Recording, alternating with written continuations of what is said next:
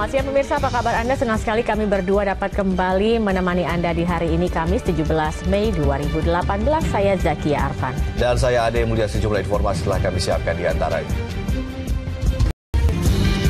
Pasca penyerangan oleh terduga teroris Rabu pagi kemarin pengamanan di Mapolda Riau diperketat. Umat Muslim di jalur Gaza, Palestina malam tadi melaksanakan sholat tarawih pertama di bulan Ramadan. Atletico Madrid menjadi juara Liga Eropa musim 2017-2018 setelah menang 3-0 atas Olympique Marseille di partai final.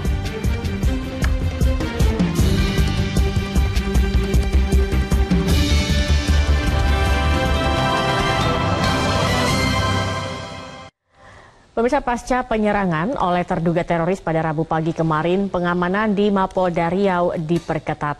Penjagaan ekstra ketat ini dilakukan ratusan personel bersenjata lengkap dari kepolisian dan Brimob Polda Riau. Mereka menjaga pintu masuk dan keluar Mapolda Riau dan memeriksa setiap kendaraan dan orang yang masuk.